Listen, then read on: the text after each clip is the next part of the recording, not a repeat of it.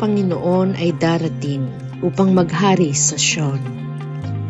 Isang panalangin ng papuri sa Diyos na ating hari.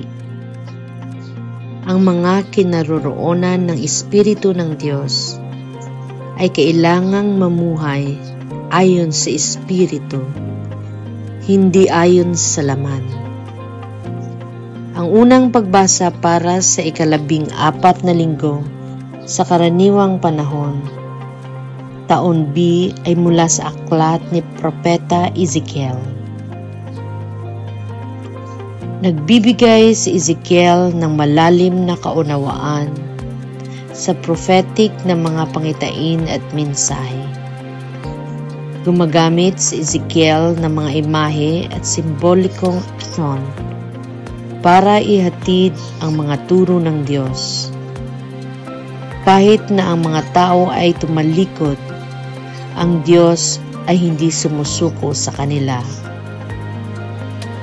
Ipinadala ng Diyos si Ezekiel sa mga rebelding tao upang ipakita ang kanyang patuloy na pagmamahal at pangangalaga sa kanila.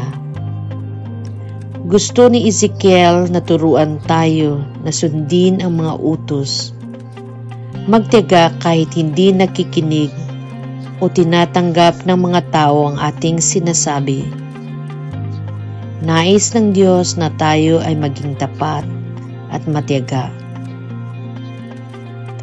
Sa ating dakilang pagdiriwang ng soberanya ng Diyos, ipinapaalala sa atin ang salita ng Diyos.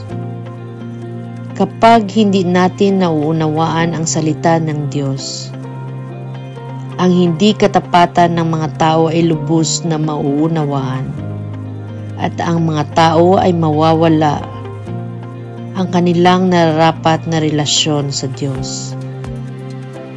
Ang malinaw na pag-unawa sa pangako ng Diyos sa pagpapanumbalik ay magdadala sa atin sa daan ng Diyos at sa katotohanan ng Diyos. Ang pagbabasa at pakikinig ng may positibong pag-iisip ay tutulong sa atin na maunawaan ang kahalagahan ng pakikinig sa mga propeta ng Diyos. Gayun din ang paghahangad ng espiritual na pagbabago. Hinihikaya tayo ng mensahe ni Ezekiel na magsisi at bumalik sa biyaya ng Diyos sinasabi sa 2 Corinthians chapter 12 verse 8 to 9. Tatlong beses akong nagsumamo sa Panginoon tungkol dito. Sinabi sa akin ng Panginoon, ang aking biyaya ay sapat na sa iyo, sapagkat ang kapangyarihan ay ginagawang sakdal sa kahinaan ipagmamalaki kong may kagalakan ang aking mga kahinaan upang ang kapangyarihan ni Kristo ay manahan sa akin.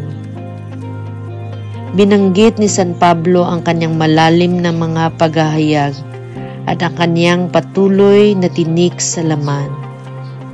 Sa kabila ng pagiling sa Diyos na alisin ito, Nalaman niya na ang biyaya ng Diyos ay sapat at ang lakas ay matatagpuan sa kahinaan. Maaaring pilitin tayo ng pagdurusa at kahinaan na umasa sa Diyos kaysa at sa ating sarili. Sa pamamagitan ng pagtanggap sa ating mga kahinaan, pinapayagan natin ang kapangyarihan ng Diyos na gumana sa pamamagitan natin na ginagawang mga pagkakataon ang ating mga hamon para sa mas malalim na pananampalataya at pag-asa sa Kanya.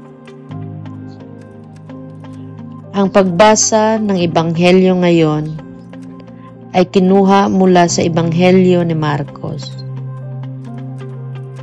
Ang Ebanghelyong ito ay kilala sa maikli at mabilis nitong pagsasalaysay na nagbibigay diin sa buhay at ministeryo ni Heso Kristo. Binigyang diin ni Marcos na si Jesus bilang anak ng Diyos ay nagpapakita ng kanyang banal na kapangyarihan sa pamamagitan ng mga himala. Gayunpaman, inilalarawan din niya si Jesus bilang ganap na tao na dumaranas ng mga emosyon tulad ng habag, galit at kalungkutan.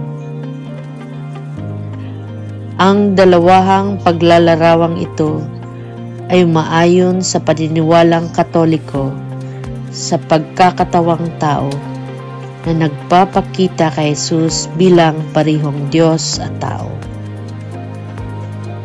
Tinutulungan tayo ng pagtanggi na maunawaan na maging si Jesus ay nahaharap sa pagtanggi, lalo na sa mga malapit sa Kanya. Sa Ebanghelyo ngayon, makikita natin si Jesus na tinanggihan sa kanyang bayan. Ang kanyang mga kapitbahay ay hindi maaaring makalampas sa kanilang naisip na mga paniwala tungkol sa kanya bilang isang karpentero. Nakikita natin na pinangangasiwaan ni Jesus ang pagtanggi at kung ano ang natutuhan natin sa kanyang tugon. Tunay na nanauunawaan ni Jesus ang ating mga damdamin ng pagtanggi at tinuturuan tayo na tumugon ng may biyaya at sumulong. Naghahanap ng pagtanggap at suporta mula sa iba. Magdasal tayo. Maipapakita natin ang pananampalataya sa pamagitan ng pagtitiwala sa Diyos sa mahihirap na panahon, pananalangin ng regular, at paniniwalang laging kasama natin ang Diyos. Maaari nating yakapin ang sarili nating mga kahinaan at kahirapan alam natin na ang kapangyarihan ng Diyos ay gumagana sa pamagitan nito. Tinutulungan tayo nitong umasa sa Diyos kaysa sarili nating lakas. Amen.